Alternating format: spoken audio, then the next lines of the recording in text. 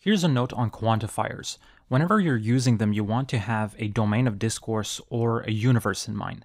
We can have a quite abstract discussion about what a, specifically a domain of discourse is, but for the moment, I think it's simpler if you just consider uh, a domain of discourse to be um, informally the values, the values or objects, um, or objects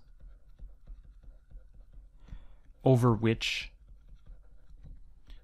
over which your um, the quantifiers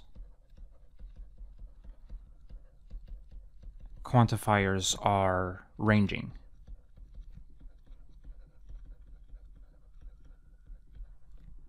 So when I have a statement such as for all x, x is greater than 0 implies that there exists a y such that y squared is equal to x. The domain of discourse would be the set of real numbers. So this is the set of real numbers.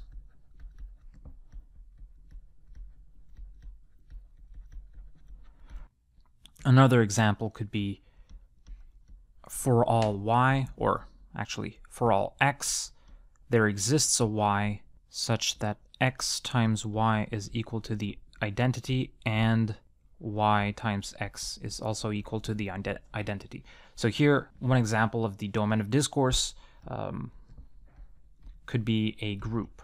Anyways, since this is just an informal note, I'll leave it at that and we'll have a more thorough discussion later.